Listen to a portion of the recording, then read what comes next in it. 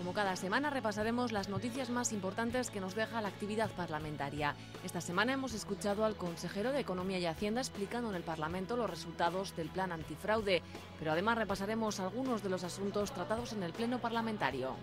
Nuestra parlamentaria más de cerca de esta semana es de Alsaso, localidad en la que reside y en la que comenzó su actividad política.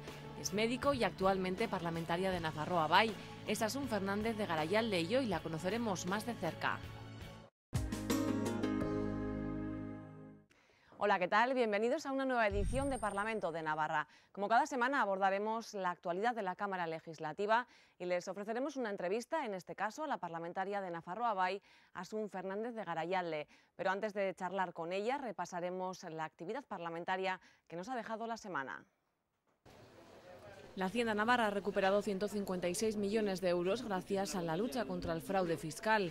A pesar de la crisis, es la mayor cantidad registrada desde 2003, año de la puesta en marcha del primer plan de lucha contra el fraude. Hacienda Tributaria de Navarra, y no, es que lo diga yo porque sea su máximo responsable, sino creo que es un, un sentir generalizado, pues tiene una amplísima capacidad en la lucha contra el fraude en nuestra comunidad. A pesar de que en 2003 se recaudaron 50 millones y este pasado 2956, desde la oposición consideran que los datos son claramente mejorables. Y a nosotros nos da la sensación de que a pesar de que año que viene aquí dicen que han aumentado los recursos humanos, el número de inspecciones que se realiza sigue siendo el mismo. Siguen más o menos en unas 350 al año, pero desde hace 10 años. O sea, es que eso es lo que no ha cambiado con el nuevo plan. Insisto, todo es mejorable, pero nuestras cifras y no había reparado en ello. Nuestras cifras absolutas son muy importantes en comparación con lo que estoy viendo ahora y el retroceso nosotros hemos crecido y dos, dos haciendas importantes, vecinas nuestras, han retrocedido, una el 24% y otra el 14%. El pasado 2009 se inspeccionó a 343 contribuyentes y se recuperaron 51 millones y medio de euros. Unas prácticas ilícitas en materia fiscal que cuentan con el rechazo de la sociedad y que en algunos casos no sorprenden. Este país es el fraude, es el país del fraude. Pues mal, me parece muy mal. Hombre, pues no está bien.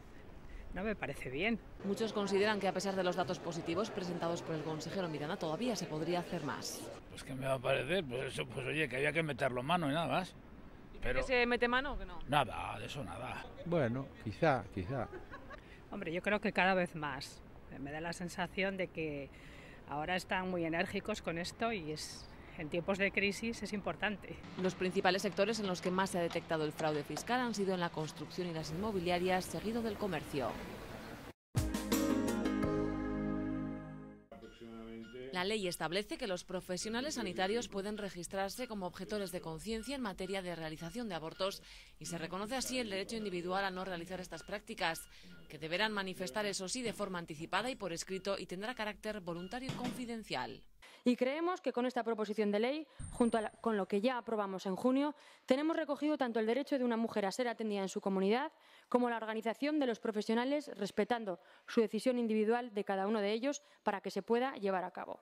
La creación de este registro por ley pretende garantizar el acceso de las mujeres a la prestación y la calidad de esta, además de facilitar al Gobierno la organización de los recursos sanitarios. Estamos ante un procedimiento administrativo que el Gobierno de UPN y eh, la señora consejera como máxima dirigente del Departamento de Salud nos está haciendo, nos está haciendo que aquí en Navarra tengamos que hacerlo ley. La proposición de ley pretendía inicialmente un registro de objetores y otro de profesionales disponibles, al tiempo que precisaba qué profesionales eran los afectados. Sin embargo, una serie de enmiendas de Navarro Abay han eliminado el segundo registro ante las dudas que había suscitado entre los propios sanitarios y ha dejado abierto quiénes podrán ser los objetores con la expresión de personal directamente implicado en la realización de un aborto. Apartado este último que ha contado con el rechazo de UPN y CDN. Tienen miedo a regular la objeción de conciencia y así lo hacen de una manera imprecisa. Reconocen el derecho a la objeción de conciencia a profesionales sanitarios directamente implicados. ¿Pero qué es directamente implicados? ¿Qué significa? Y se sigue sin desarrollar, sin regular ese aspecto fundamental. Y hoy seguimos sin saber cuáles son los profesionales directamente afectados. La ley ha salido adelante con el apoyo del Partido Socialista. La Farroa Valle Izquierda Unida ya ha contado con el rechazo de UPN y CDN. En nuestro espacio dedicado a la entrevista hemos charlado con la parlamentaria de Nafarroa Bay, Asun Fernández de Garayalde. Con ella hemos estado en Alsasua, localidad en la que vive y en la que dio sus primeros pasos en política.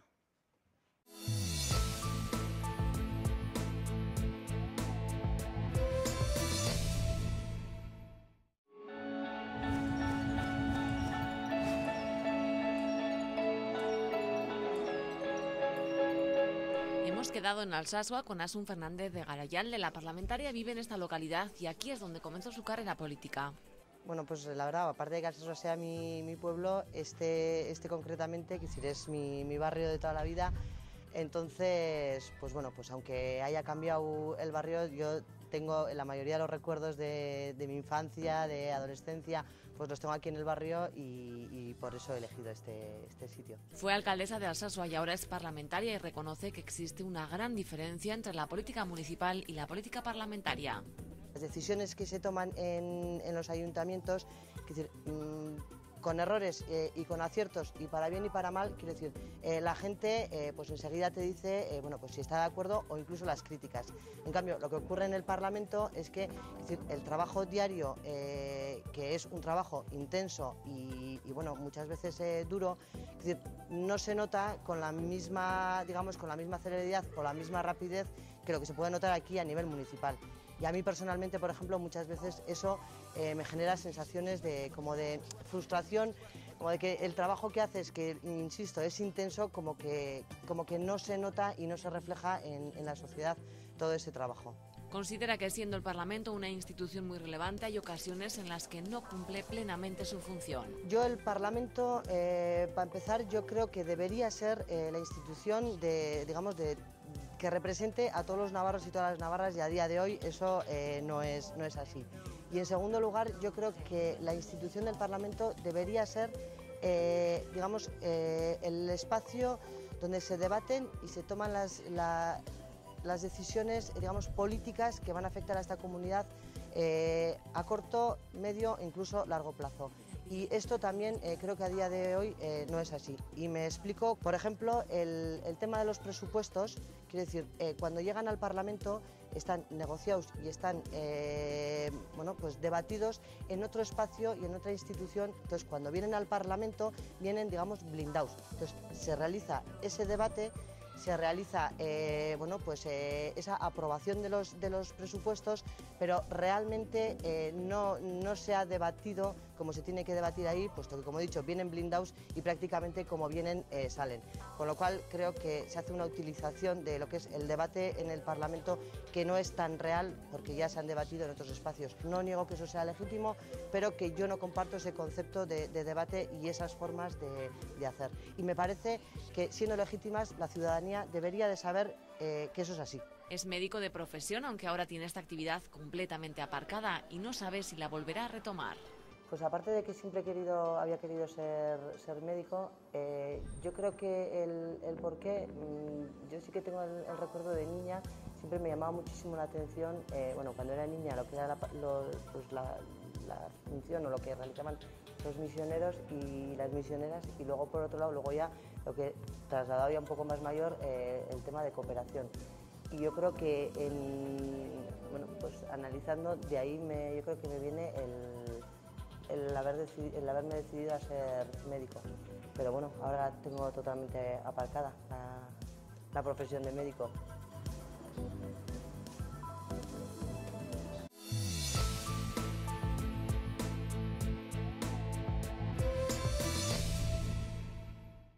Nerviosa, eh, creo que soy optimista y lo que sí que soy también es muy cabezota y eso me lleva a ser muy perseverante en todas las cosas que, que hago.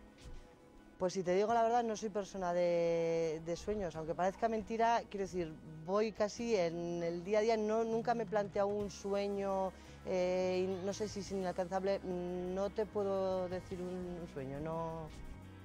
Marmitaco. Pues mira, me iría, eh, porque de hecho ya me he ido cuando hemos tenido eh, jornadas en el Parlamento y con Mari Carmen Ferrer, con Ana Figueras y con María José Bozal, porque ya me he ido con ellas y desde luego me volvería a ir otra vez.